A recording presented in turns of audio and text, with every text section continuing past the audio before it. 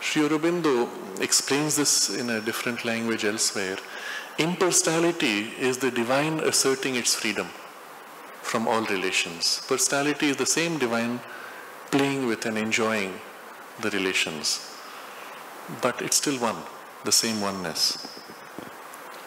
Next, he says, it finds the same oneness in Nirguna and Saguna, capital. So, for those who are not familiar with the vocabulary of Sanskrit, Guna is quality. Nir, negation, no quality. Sa is affirmation with quality. Nirguna and Saguna. But why does Sri Aurobindo bother to use these technical terms? Because there are there's something very important implied. There's a whole um, philosophy and line of experience richly developed behind both of these words. Guna is not just quality. The association of the word goes back to something very deep in the yogic uh, philosophy and development when in exploring the nature of the world, the yogis tried to see what is, this, what is it that causes things? What makes for this to be white or for that to be brown?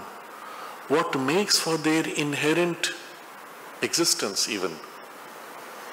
And going deep into things, pursuing all the way to a depth which is extremely difficult for us to recognize, to even experience, they found that ultimately everything resolves itself into some essential, fundamental qualities.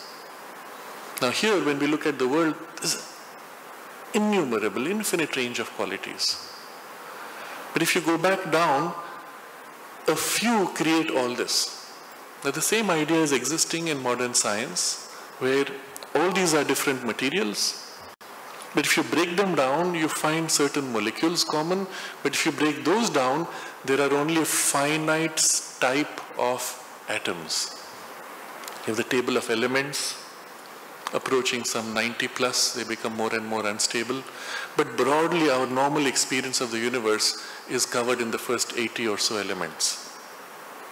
Everything resolves itself down to 80 types of atoms. But if you go a little deeper even within those elements, everything resolves itself into three particles electron, proton, neutron. Out of these three, the whole universe is constructed. Interesting, isn't it?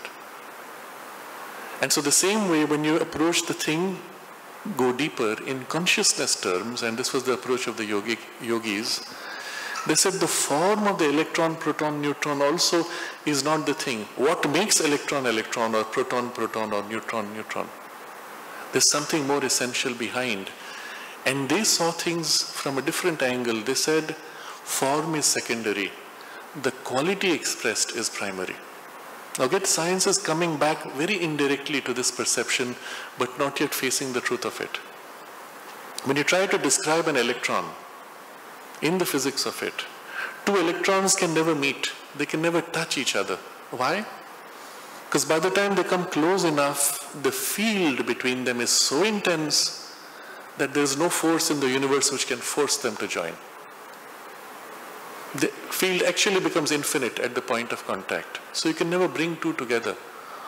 That means you, you can never see an electron because no particle can actually touch it any particle which approaches is either repelled or attracted, but can never actually touch. And so what is an electron like? Can you even image it? Mathematically, we cannot. We try to conceive of it with mathematics. The problem with an electron conceived like a, you know, they picture it like a ball in your textbooks. The problem with that is the surface of the ball itself being made of a surface the force of the electric charge would be so great the ball would explode. And yet there seems to be some kind of a finite distance beyond which you cannot approach. There is as if an outline which you experience. What is inside it, we cannot describe. What is this surface made of, we cannot know.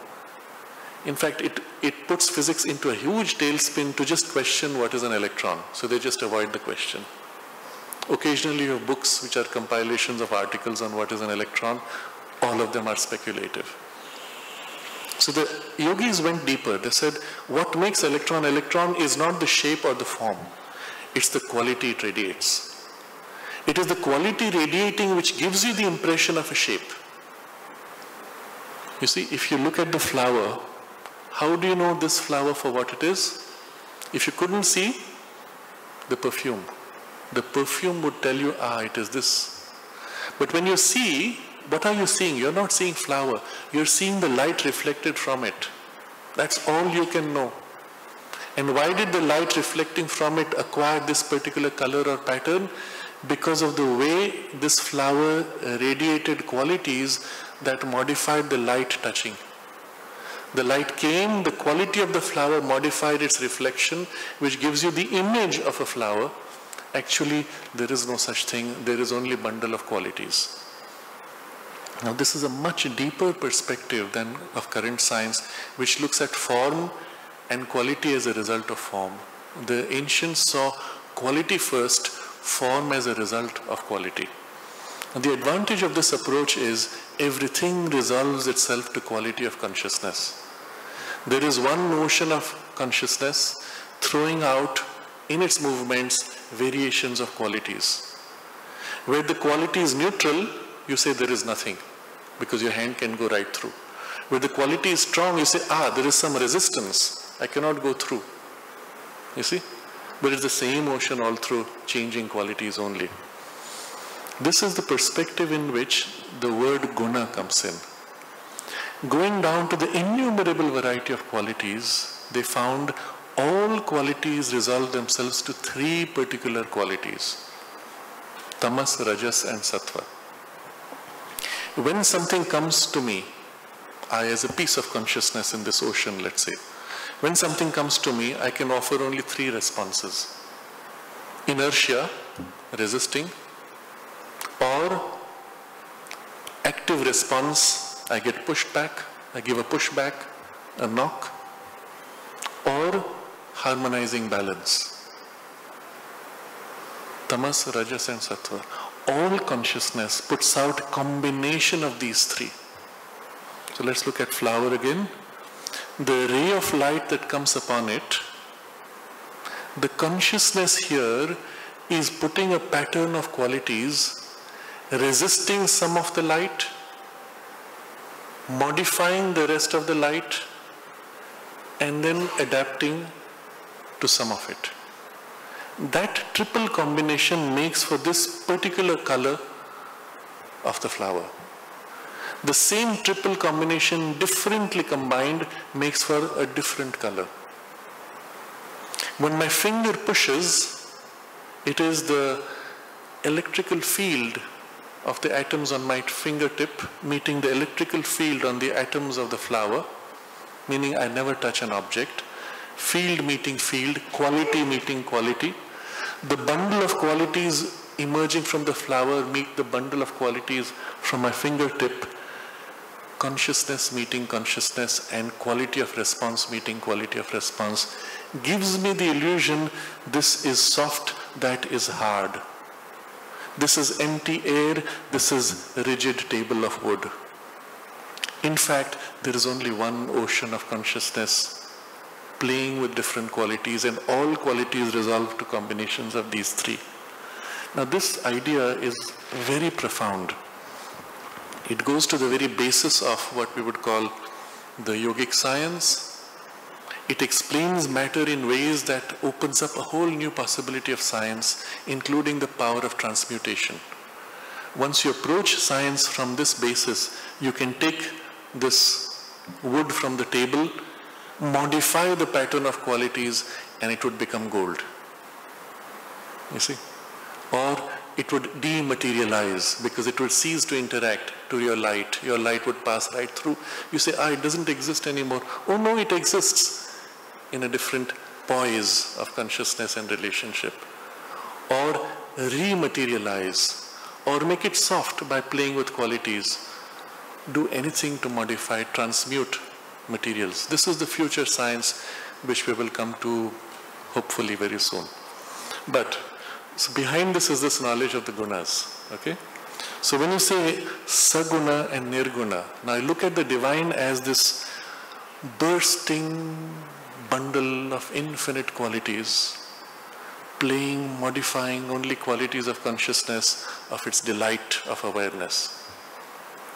Or the divine standing back from all qualities, impersonal, massive, behind everything, and the play of quality is only some superficial play or none at all. And these are two approaches to the divine.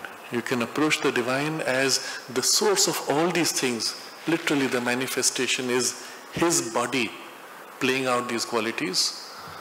Or you can approach the divine as transcending all qualities and therefore without quality and manifestation separate from him somehow, like a dream or illusion or some separate creation. So these are two approaches to the divine in practice. And each one of us has a natural inclination for one of these. There are those who say, I want to know the divine with this form, with this love, with this sweetness, with this joy, or whatever it is, or this power or knowledge. You want that quality. For you, that quality defines the divine. And the others who will say, No, for me, the divine is that which transcends all this. And it's a difference of temperament. But for, from within the experience of the divine, pouring quality or standing back free of all the pouring of qualities, it is the same one. And so the integral knowledge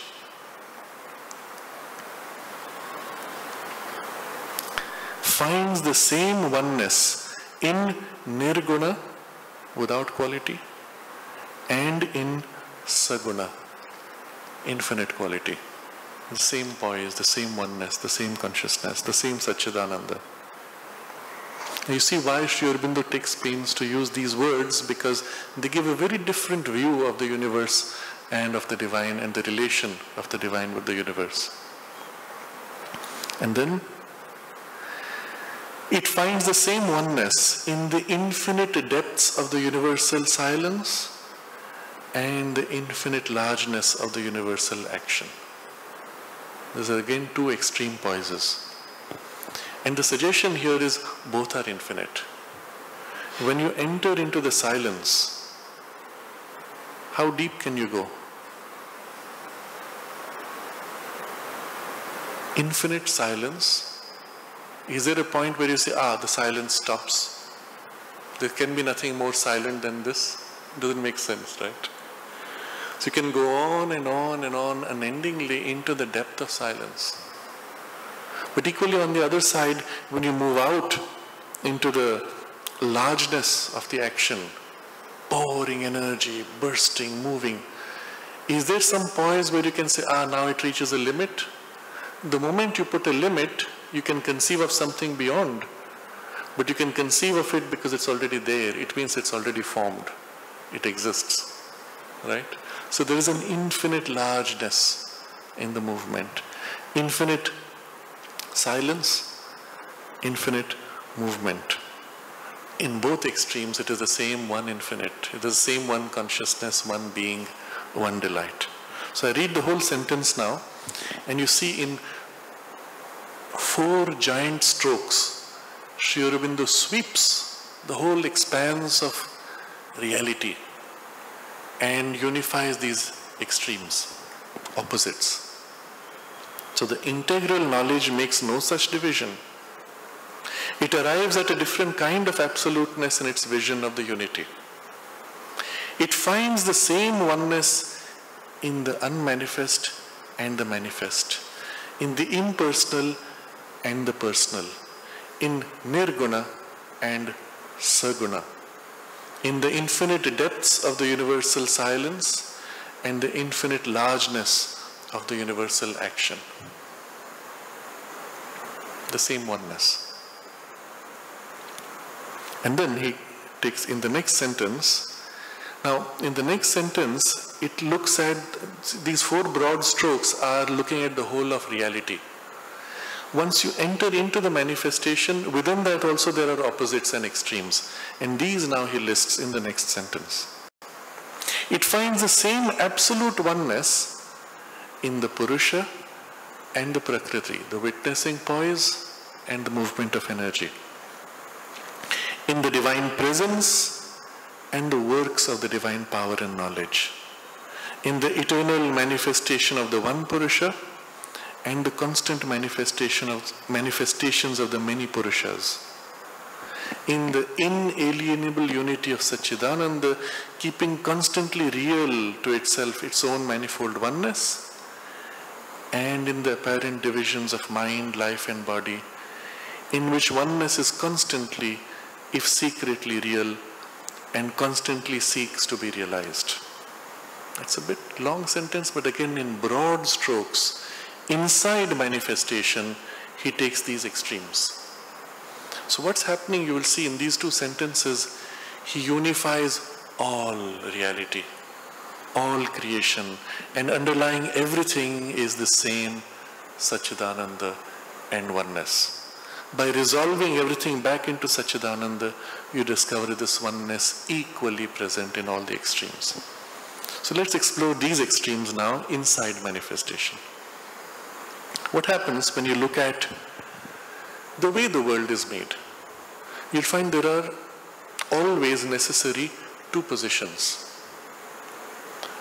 one cannot exist without the other, and the other is incomplete without the one. The picture, the analogy we will take, is that of a painting, and I've used this analogy many times before.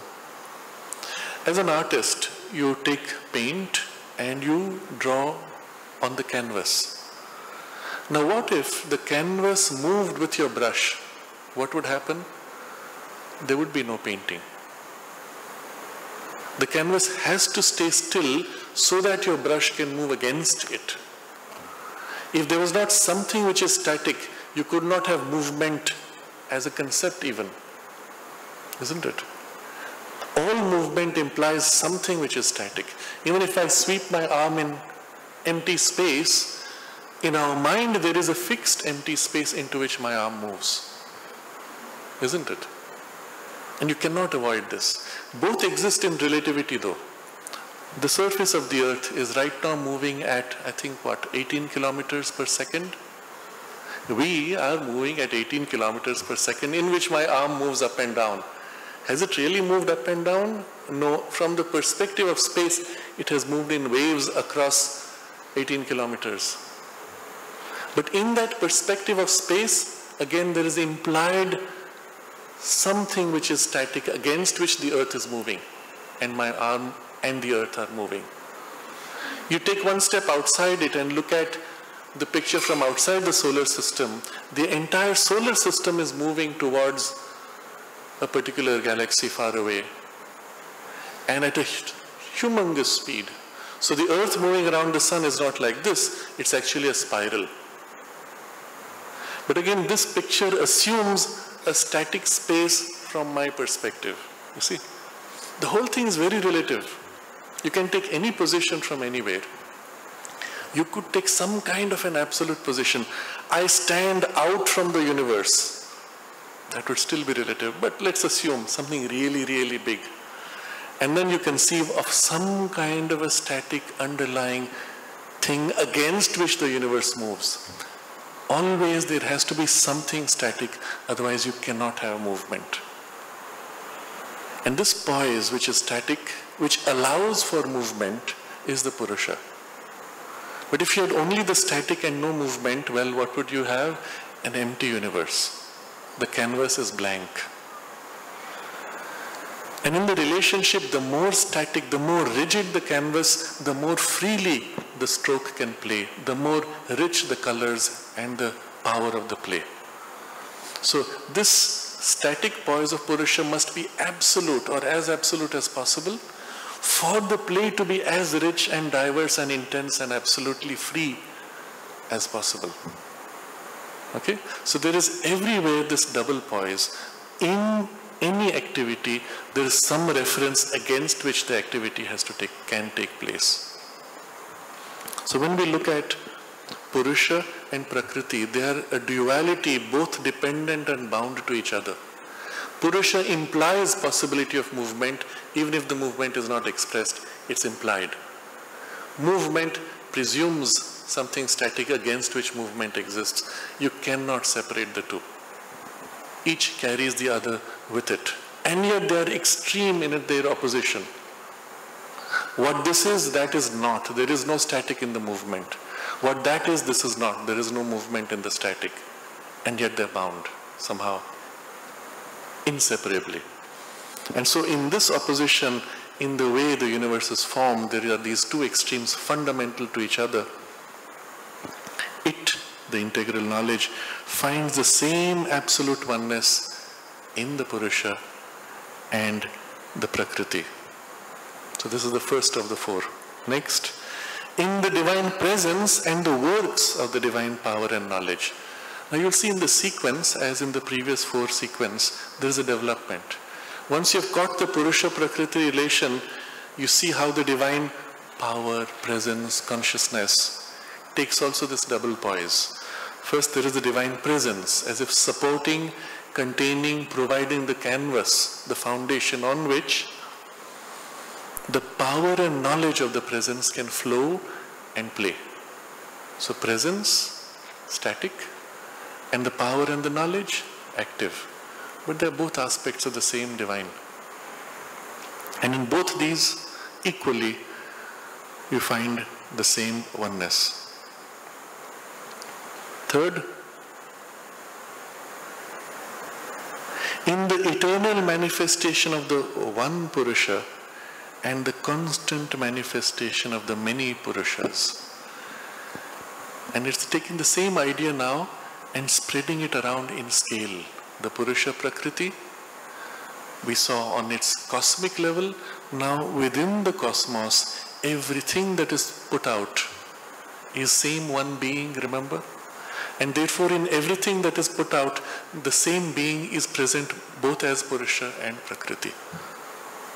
Take an analogy again here of my body and I. I am in my consciousness observing Purusha in my consciousness identified in action, Prakriti. But in my consciousness observing action, I'm observing my hand do. I observe in my hand the Purusha poise from which the fingers move. This is the reference against which the fingers have to play. Inside the fingertip, again a poise of Purusha, taking its reference against which it does its action because it is the same one consciousness pouring out, it is present everywhere. And in each of its presences, it is entirely whole and can burst out freely, unendingly, with the same creative power as the origin. This idea is pictured in the modern scientific vocabulary as the hologram. That is, the whole is represented in the part, or the part captures the whole, but in an aspect. But it is still the whole. And represented in form in this modern uh, vocabulary of science, which is called the fractal. Uh, the fractal is a design in which the overall pattern of the whole is repeated in the part and with variations, which makes for a very rich variety. But what is interesting in the fractal is you can take this picture you must have all seen fractal images. You zoom in on a part and the part is similar to the big picture. And then you zoom in on another part of it and you discover that part is similar, different, but similar to the original picture. And you can go on zooming unendingly, take any tiny part and you zoom until it becomes similar to the whole picture. It's interesting. This is the way the universe in fact is formed. The same one divine pouring out, remember, unendingly plays with unending possibilities of unending relations in unending time, all being rich colors of its delight. And so everything holds in itself potentially unending possibilities. Now, in most things, that potential is sleeping deliberately. If everything was bursting out unendingly, well, you would have, it's as if all of Shakespeare's played playing simultaneously and all the movies of the world simultaneously put on the screen, it would make a big mess. You wouldn't enjoy anything. So for the purpose of the play, certain things are withheld while other things are first bursting out. Each center thus bursting out becomes the potential for another bursting out. So each one of us, individuals, as a conscious soul, is a part and expression of that, but the whole of that putting a front, a special limited front. And in each one of us, therefore, eventually, there is the possibility of the full divine revelation in a different way, like the fractal. There's an interesting tradition among a particular group in America, in the United States of America, I believe 150 years ago. I forget the name, if anybody remembers the group. Perhaps it's the Mormons, but I'm not sure. They have this belief that they hold family to be very important. And they have this belief that in the afterlife, each one of them will be given a planet to look after. You see, the seed idea is this that as you complete your evolution and the journey of your evolution, you preside over the whole new birth of another multiplicity, as if. It's obviously something which was glimpsed by the founder of that tradition, saw possibility, articulated it in terms which his mind could contain, but the truth of it is this within each one of us, there is this unending potential. But it doesn't have to take that form. As we awaken in our consciousness and find, live in this oneness, we become participants in the creative process. And through each one of us, it can flow out equally as it flows out in the origin. But in the conscious awakened individual, the capacity to express is much greater and the freedom of that expression is more spontaneous. In the flower, there is a limited capacity to express and the freedom is limited. That's the only difference. But if you think about it more deeply, it's by choice. It is the same, same one being who says, in this poise I will remain flower and not go much more. I will play with the possibilities of flower but not become elephant. That would be pointless. To hold poise of flower and all the varieties of flower experience is the free intention here. But in the human being, it says, ah, in this, I will try to play with my freedom and develop all possible experiences and their variations. And so these are consciously chosen poises of the same one being. So here, there is there are many Purushas, many poises, centers of consciousness awakening, but they are all essentially the same one Purusha taking up specialized poises. We may again play with an analogy here. If you take a source of light, you put a screen in front which conceals the light. That's the inconscient. Then you punch holes in the screen. Through each hole, a beam of light will come out, which is unique. No two beams will ever meet. It is unique. Each one is different, and yet they're all the same light, differently expressed. Different in their partiality, different in their direction, different in their purpose. And so he says, it will find the same oneness in the eternal in the eternal man, manifestness of the one Purusha and the constant manifestation of the many Purushas. This one Purusha never changes. All the unending other Purushas keep growing, new ones coming into play, new rays, new holes in the screen, each one of them growing differently, uniquely. And at the same time, there is one Purusha who's ever manifest, always one. In these two extremes, which the mind would have separated as one greater and one lesser, the integral knowledge finds the same oneness.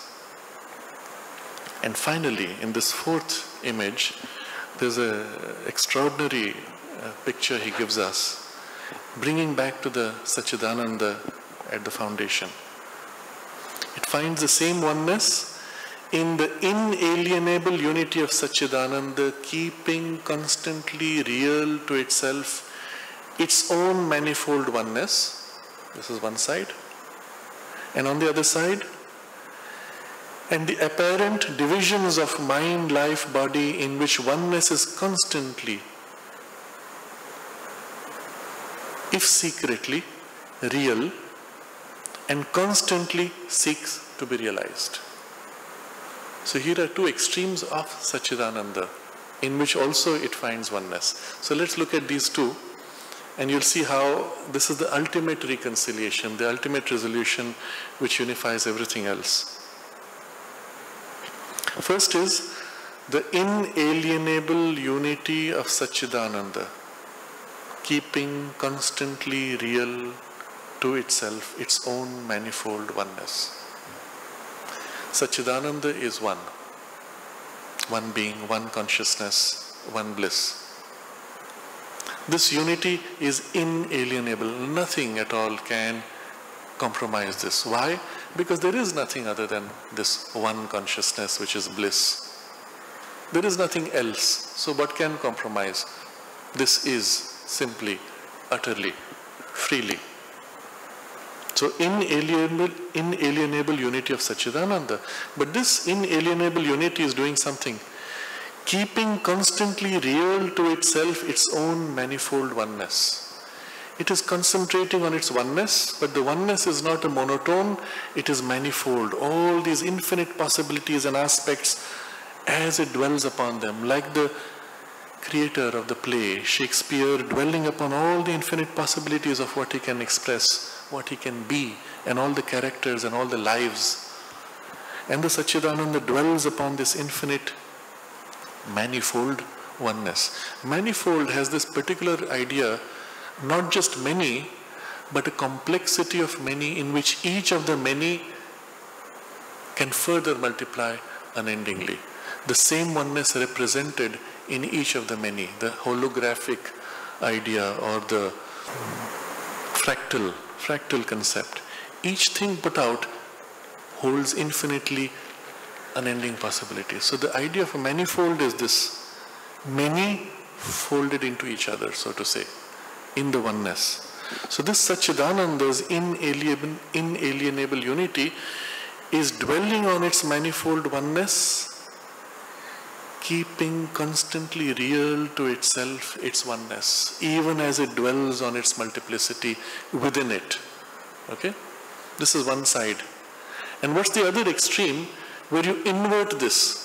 You put your whole consciousness on the multiplicity and look back at the unity behind. Okay? Here the unity is dominant looking into the multiplicity within itself. And now you invert the picture. What's at the other extreme? In the apparent divisions of mind, life and body, yes, they are divided, but they only appear divided.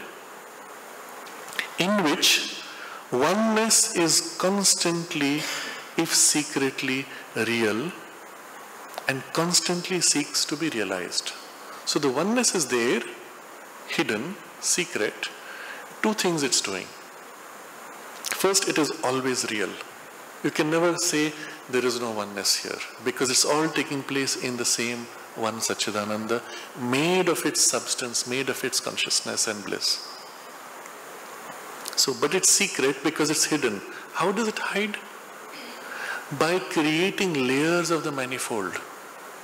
One delight of itself and another delight of itself are put as if against each other, one concealing the other. And this concealment is used to conceal something else. And that concealment is used to conceal something else. By dwelling in consciousness on these different, as if layers, the Sachidananda creates this appearance of many layers of concealment. So the oneness is there constantly and always real, but secretly. But because it is secretly there, it can also try to reveal itself. If there was not first the secrecy of the hiding, there could not be subsequently the movement of revealing. So both things are happening. It is constantly real but secretly and constantly seeks to be realized, to become revealed in its reality.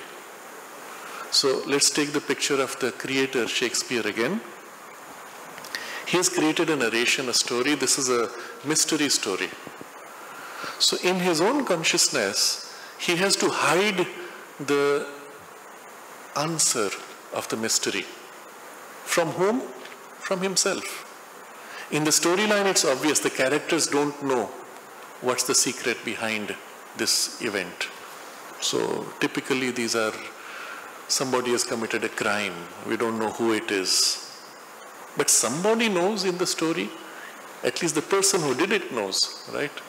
In more complex stories, even the person who did it does not know. But somebody knows who made him do it. But all the time in the consciousness of the writer, it's known. And yet he has to hide from himself as if he does not know he has to become this part of the detective who's looking for the answer. And if you see in typically in the modern novels, we are not happy with a simple solution. There's something very interesting happening. If you look back at the evolution of novels, of mystery novels of the last 100 years or 200 years, you'll find they're growing in complexity. There was a time when you had a simple solution. The old movies, they had a simple solution. You watch those old movies and you say, ah, boring. I could have guessed it. But you see what happened when enough of those movies came and people got used to the idea of a simple solution, they had to create complex movies where there was a double hidden layer. You thought it is this, but in fact it was something else, and you're surprised, right? And once you got used to that, mm, you're anticipating that the director is going to hide in two layers. So you have to create a third layer of complexity. See where it goes? Eventually, as you grow in your capacity, in your capacity to anticipate how the director is thinking, you have to add another layer and another layer. So today's directors have to create surprises, have to deceive you in many complex ways, make you think it's this, and then make you think you've now gone beyond it to the next and gone beyond it to the third. Meanwhile, the fourth is lying hidden behind, which you could not even imagine. This is what you will see in some of the movies of Manoj Night Shyamalan. M. Shyamalan is how he, he writes his name. Uh, one of those was The Sixth Sense was one of them, and there was another where there was a village I don't remember the name of the movie. But suddenly the scene changes in a way, oh wow, you just got thrown around in space and time. You thought it was this period, it's a different period. You thought it was this location, it's a totally different location. And your whole perspective now suddenly gets reversed. And often in such stories or movies, you will go back to review now from the new perspective. Something you could not have imagined was thrown as a surprise at the end. You must go back and re-see this. Now imagine the complexity involved in the narrator of the story. He has in himself, in his own consciousness, to convince himself of the truth of this view and then layer each of these truths, knowing, being fully convinced in each, and yet hold overall the consistency across them. That as you unfold through these three layers, you cannot go back and say, yeah, but then this does not fit that piece. It has all to fit, it has all to make logical sense, and yet these triple or quadruple layer of surprise should be there. Isn't it difficult? In his own mind, he has to split himself into these extreme poises and be convinced of each of them and yet make a narration. And this is what's happening in the Satchidananda.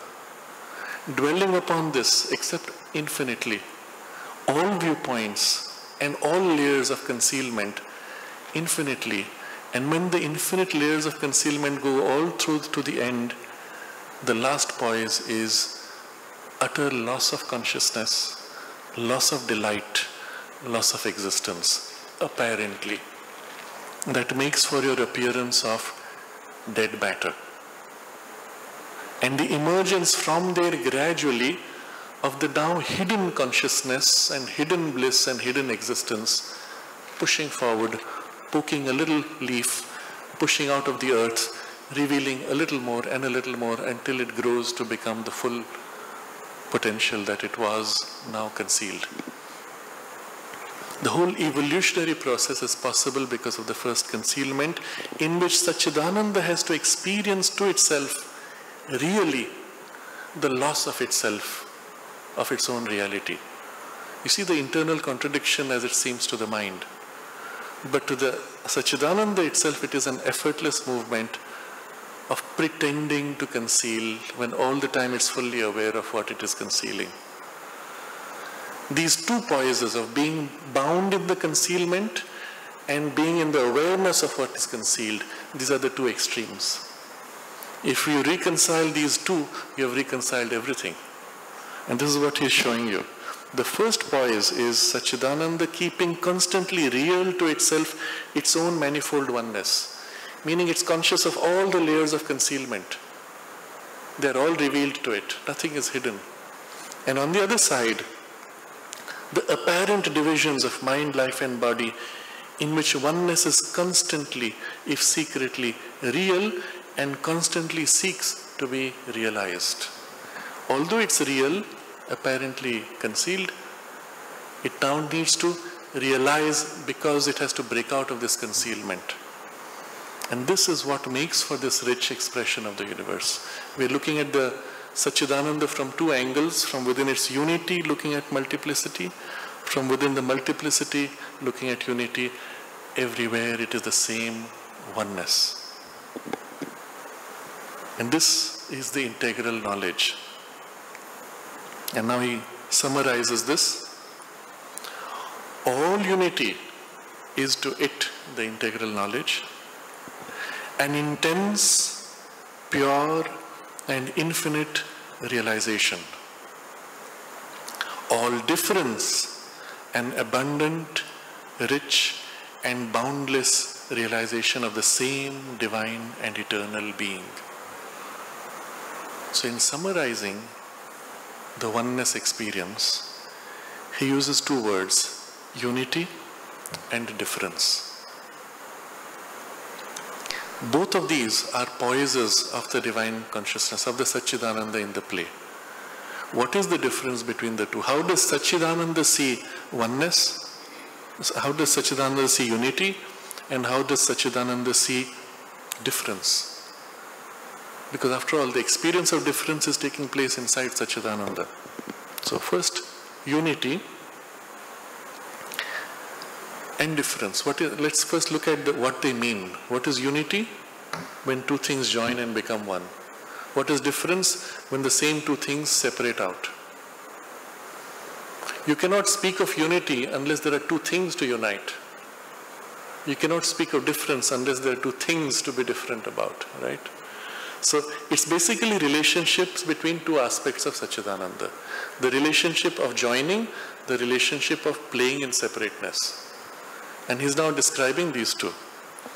All unity is to it an intense, pure, and infinite realization.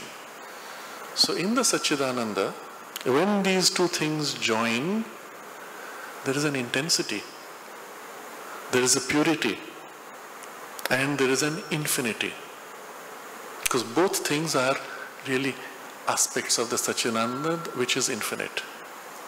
When they join, it is infinity meeting infinity. Pure, because there is no veil, no separation. They're just revealed to each other entirely. And intense, because it is two aspects of its own bliss joining. Now, this word pure, let's look at what that means. What did it mean to have a veil?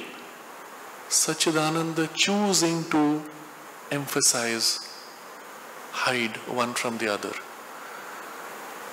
That is the impurity, so to say. I pretend to myself that I didn't make a mistake. How dare you criticize me? I didn't make a mistake. It was his fault. He deserved it. What am I doing? I am hiding from myself what I already know. I create an apparent separation. Now, in the context of the human being, it is self deception in the context of the Satchidananda, which is utterly aware, it's even aware of what it is doing, it is not a self-deception, it's a play. It's a pretense. But in the play, there is this which is the play of separateness. And when you remove that, there is the purity. This is what I always was. Okay? So intense, pure, and infinite realization. The nature of this we can glimpse in when you think of it this way. When you live in the Satchidananda consciousness and recognize the flower as Satchidananda consciousness, the perfume you breathe is infinity meeting infinity. Bliss of infinite meeting bliss of infinite in two different aspects. And what's the nature of that meeting? Infinite bliss. Every experience of life is an aspect of the infinite bliss. And when there is this meeting, there is this joining, there is this unity, it is intense, pure, infinite realization of itself, of Satchidananda. What is it to be different, to separate? All difference is an abundant, rich, and boundless realization of the same divine and eternal being. So, what's happening here when you separate? Abundant. There is an end, it is not a limitation. There is unending possibility here. In the fact of separating two things, wow, we can now do so many different relations, so many different forms, so many different possibilities of the play. Rich. Each of these is simultaneously yearning to express itself. There are so many pulls and pushes of the expression of the delight. Boundless, no limits, even in this. What? Realization of the same divine and eternal being, playing this way or playing that way. So, Mother describes this idea in different phrasing when she speaks of the two kinds of bliss of the Satchidananda. She speaks of the bliss of identity and the bliss of union. The Satchidananda dwelling upon himself in all its infinite possibilities is blissful in its dwelling in its identity because it is already all that it can conceive itself to be. It's one. There's a, that's one bliss. And then there is the bliss of union. That is an aspect, a part, separates out as if. And then from separation rejoins to unite. And she says, this bliss of union is a far greater bliss because it's more rich, more complex, with greater possibilities in the play, not only in the movement of the separation, but in the movement of coming together, there's a greater richness of possibilities. It is this which he is speaking of all difference and abundant, rich, and boundless realization. And Mother says, it is for this reason that the universe was created. So that the divine may, as if, separate from itself to become all that it is not, as if, and then from there awaken to rejoin and reunite with all that it always was and is secretly now expressed. But in this movement of the coming together, there's this extremely rich play of the delight. Initially, the delight is concealed. So, what you experience is pain and struggle and perhaps suffering. But as you awaken and the delight emerges, the consciousness grows it reveals itself to be secretly delight preparing, and then there is the revealed delight, which is the greater part of the play in the bliss of union. But it is the same divine and eternal being always.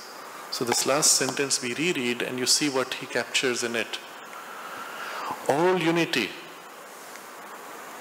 is to the integral knowledge an intense, pure, and infinite realization all difference an abundant, rich, and boundless realization of the same divine and eternal being.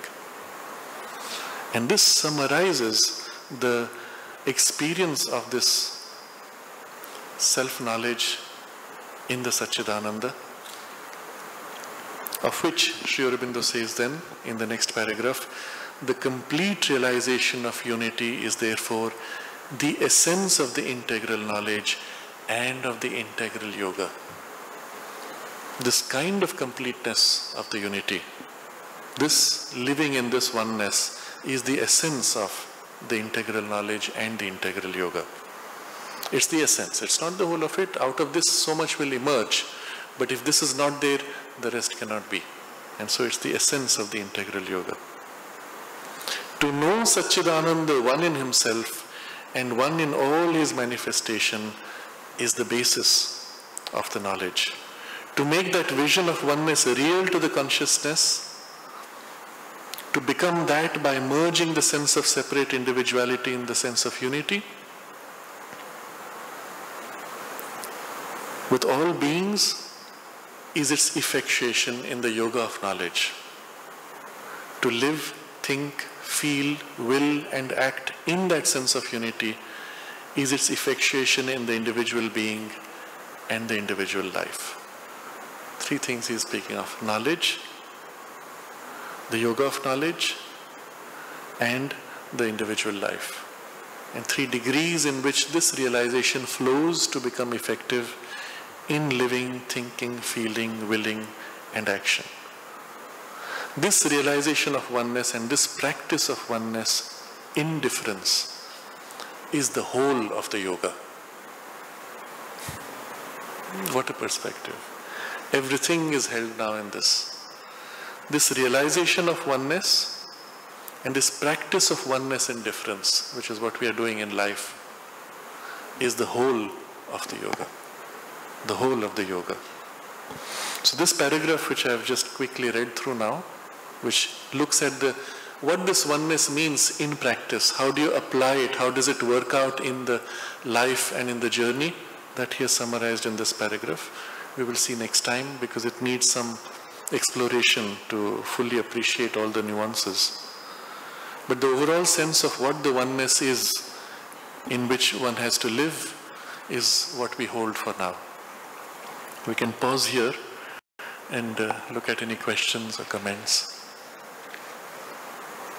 A couple of, a couple of people came to mind um, from history. One is Helen Keller, mm-hmm. who was cut off most normal ways of communicating, mm-hmm. and how she became very expressive mm-hmm. and able to communicate and then, um,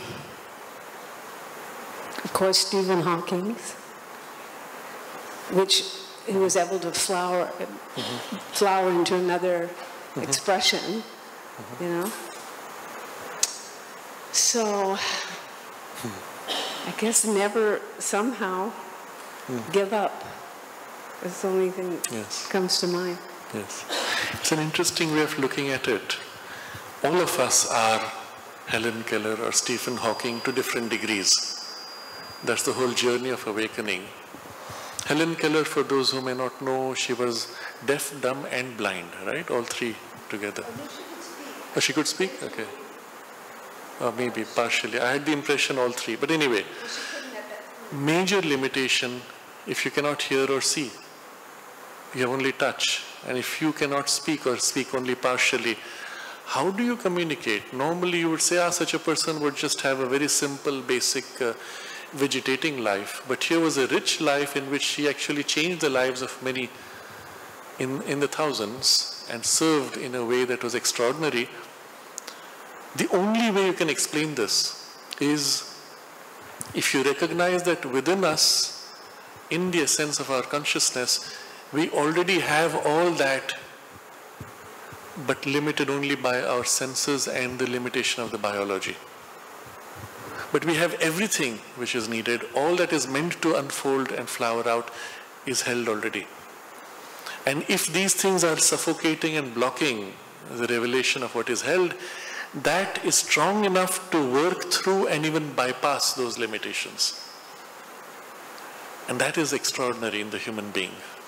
For most of us, because we can see and hear and speak and pretty much function normally, we think this is all we can do, this is all that we are. No, there's in fact a much greater potential, which we see push forward in these unusual cases where everything was blocked up. But in us, when everything is not blocked up, we should be able to do so much more if she could live a completely normal human life and even an extraordinary human life with all those limitations, we should be able to go so much more. It's just that we do not even conceive of that possibility and do not even make the effort to go into that. And this is what the mother tried to provoke among those who were around her. And some once at one point, she, in disappointment, she said to the children, I'm disappointed that you do not even question, you do not even want to do so much more. When I was your age, and she says at the age of 18, I had already had the realization of the inner divine and was moving on for what more. And I could not contain myself the moment I realized it's possible, I had to do it, she said. And you people, you're given everything and you don't want to try even. So if we look into ourselves, what is it that prevents us? It's a kind of a dullness and a numbness which not only cannot see or refuses to see rather, but does not want to make the effort. But if the push is strong, or if we make the effort, what we can do is infinitely greater. And really, the gradual unfolding of that is our journey of evolution. and sometimes it needs the external block to force us to want to make that extra effort. And that's what you see in both of these examples which you have mentioned.